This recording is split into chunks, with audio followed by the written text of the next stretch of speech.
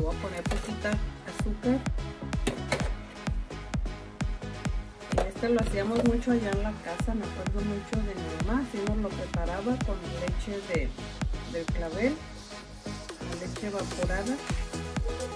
Ponen aquí, ponen crema, su gusto si gustan, pero esto nomás va con leche evaporada yo le voy a poner mis nueces.